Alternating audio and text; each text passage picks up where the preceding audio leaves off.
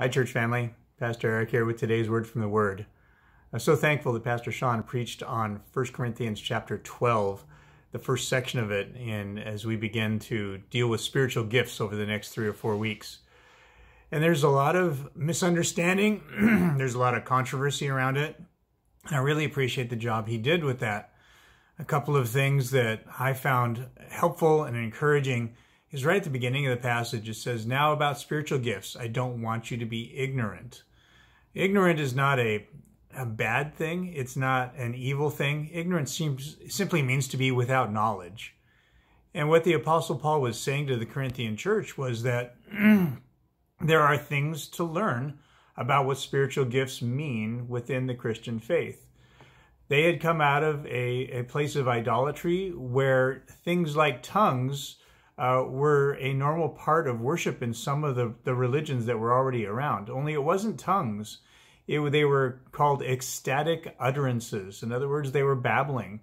Uh, they were meant to to show a great amount of spirituality. They were very theatrical and very demonstrative, and so they were there to put on a show. And what Paul wants to do with the Corinthian church is help them come out of their old ways and see that God's use of tongues is different than what pagans were doing at that point in time.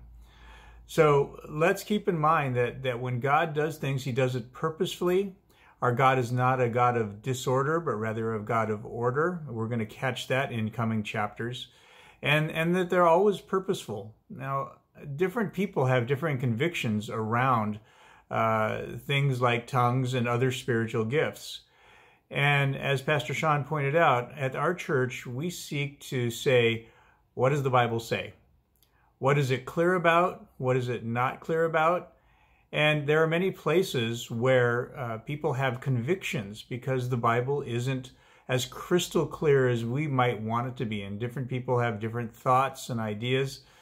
What we want to do is say, uh, let's take a look at our Bible and let's give uh, grace and, and liberty where people have different convictions. Let's not impose our personal convictions on other people, but instead let's let's honor and love one another by being kind, by being compassionate, by not imposing. And, and that's what the first part of the passage talks about. Um, there, then Pastor Sean talked about the various gifts that exist there. And as he, as he pointed out, we have a church paper on that that kind of shows where we hold our position on certain gifts, how we define them. Other people might other people might have different uh, definitions. They're the ones that we feel the most comfortable with based on our understanding of the original languages, of the context, of the culture, all the things that go into to studying well.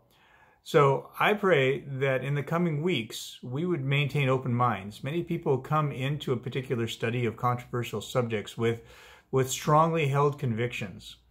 And my only question, and I had to address it myself uh, for a long time early in my life, I didn't think that many of the spiritual gifts still existed. Uh, I believed in cessationism.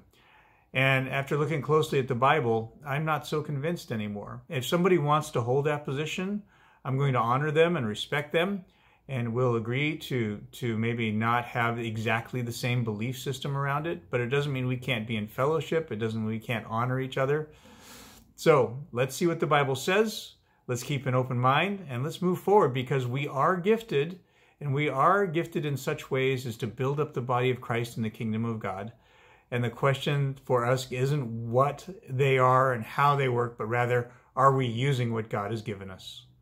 I pray that you're doing that, and I pray that your week is a great one. God bless. Have a great day.